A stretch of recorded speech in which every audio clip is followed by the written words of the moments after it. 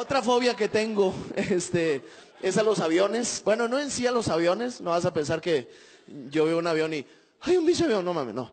Le, te- Le tengo miedo a volar. Y la primera vez que volé, la primera vez que iba a volar, este, les voy a contar todo esto a todos ustedes porque yo sé que han viajado por avión, se nota y huele la calidad de la gente. ah. Por Viva también cuenta. madre.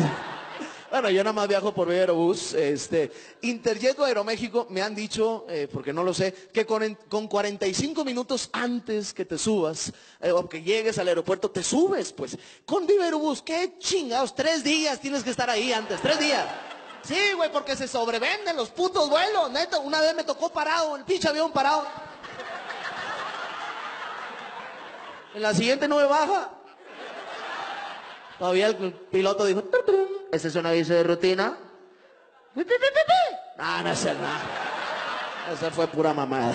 Ay, fíjate, y otra cosa que entiendo, eh, hay cosas que, bueno, me han dicho que Interjet de Aeroméxico la sobrecargo, van por el pasillo con el carrito de servicio y te dicen, señor, le ofrezco algún whisky, algún tequila o alguna cerveza de su preferencia, ¿verdad? Y te la regalan a toda madre, cacahuates, y yo regio, me llevo topper y la chingada así. Eso, es más.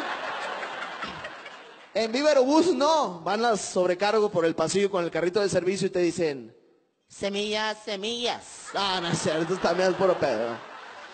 No va a valer más, a... no.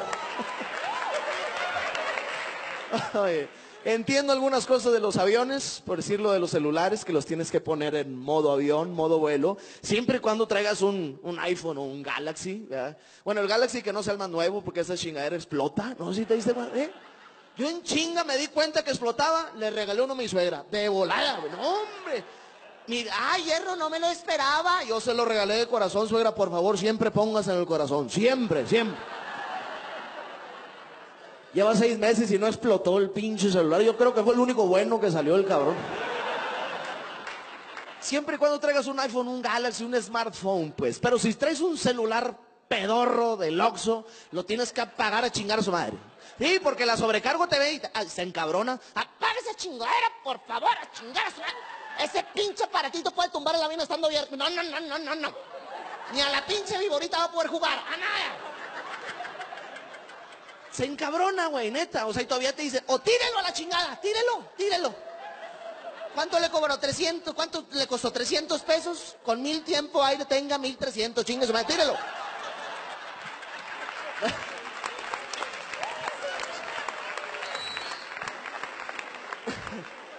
No entiendo, güey, lo de los celulares porque puede, haber alguna interferencia con la torre de control y la cabina de pilotos.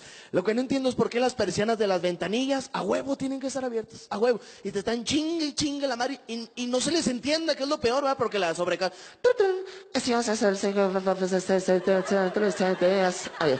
Yo con la cara de culiado porque era la primera vez que me subía. Eh, ¿qué, fue? Otra vez le decía, ¿me bajo? ¿Me bajo? Una señora que venía a un lado mío me dijo, sí, bájese. Aquí traigo pastillas Halls de las negras. Ah.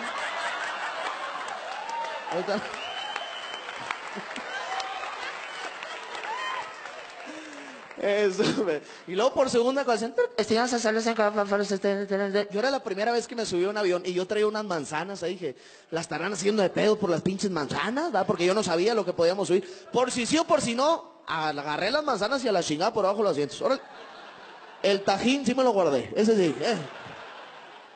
Por tercera ocasión, ya me encabroné yo, güey. Neta, o sea, sí iba asustado, pero me armé de valor y con una voz muy varonil le dije, ¡Ya! No le entiendo ni madre, pierde menos tiempo diciéndonos de uno por uno.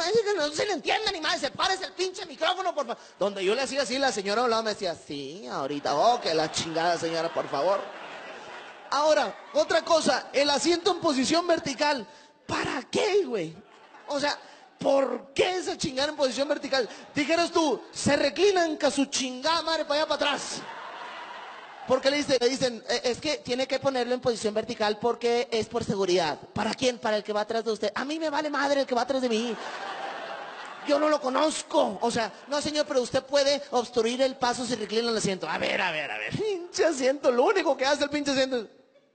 Eso es lo que hace, eso es lo que hace. Eso es lo que hace. Qué chingado, güey. Ahora, ¿para qué? O sea, que te doliera la pinche espalda. Eh, chingo dolor de espalda, güey. ¿Qué me puede servir? Y el güey que requiere el asiento, ¿te puedo ayudar? Ok. Ah, queda toda madre. Muchas gracias. Otra cosa que, no me gusta de los eh, aeropuertos es que no puedes eh, viajar eh, con líquidos arriba de 100 mililitros en tu equipaje de mano, ¿sí? Yo no lo sabía, iba pasando por el filtro de seguridad y de repente se me acercan como tres changos grandotes así, los güeyes de seguridad y, usted traiga algo, aquí que no puede pasar. ¿Qué es, señor? Esto, y lo sacó un champú. Le dije, no, no mames, o sea, es un pinche champú. O sea, qué chingón, pues.